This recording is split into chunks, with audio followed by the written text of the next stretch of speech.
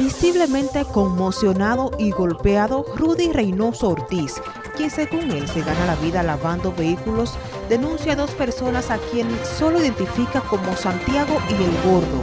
Lo acusaron de robarle dinero por lo que lo golpearon. Rudy asegura nunca ha robado en su vida. No, los, dueños del carro me entran a pago, los dos.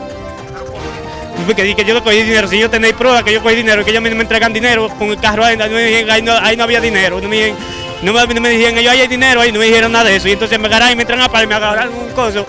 Dice estar dispuesto a entregarse a las autoridades policiales para que el caso se investigue, ya que ha sido amenazado de muerte por los agresores. De que yo cogí un dinero, entonces yo, yo vine para que me entreguen el cuartel porque yo no he hecho vaina mala. Yo nunca he robado, de gracias a Dios. Yo sufro de la gota. Y me acostaron y me dio un de golpe. Mira, a ver todo eso, mira, a ver, eso fue un palo.